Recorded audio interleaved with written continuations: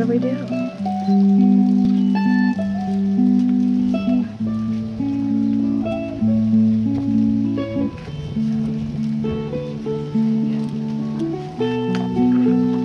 Jordan. Jordan. Thumbs up, man. Good job.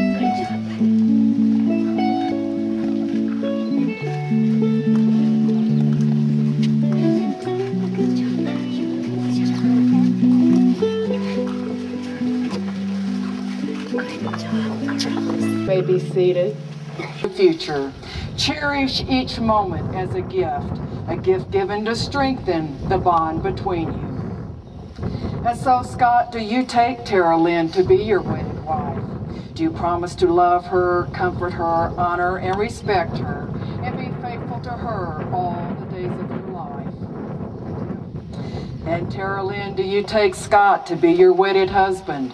Do you promise to love him, comfort him, honor, and respect him, and be faithful to him all the days of your life? I most definitely do. All right.